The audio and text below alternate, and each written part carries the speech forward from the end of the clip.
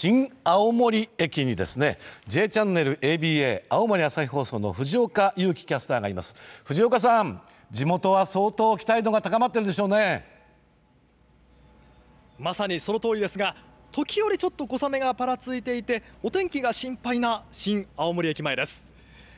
先ほどまで駅の構内では飲食店やお土産屋の店員さんなどが準備に追われていたんですがようやく一段落してあとは開業を待つばかりといった感じです。青森市内はと言いますと至る所に東北新幹線全線開業を祝う旗やポスターが立っています。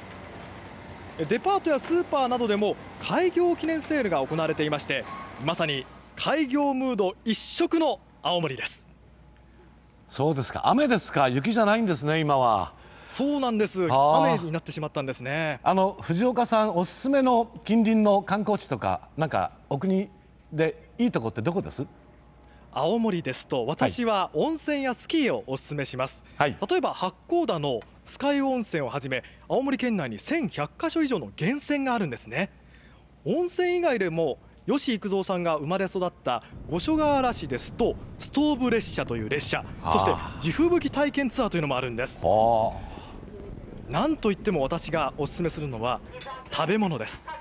B 級グルメも豊富でして八戸せんべい汁そして黒石つゆ焼きそば 青森生姜味噌おでん十和田のバラ焼きこの他にも青森県は太平洋日本海津軽海峡と三方海で囲まれていますので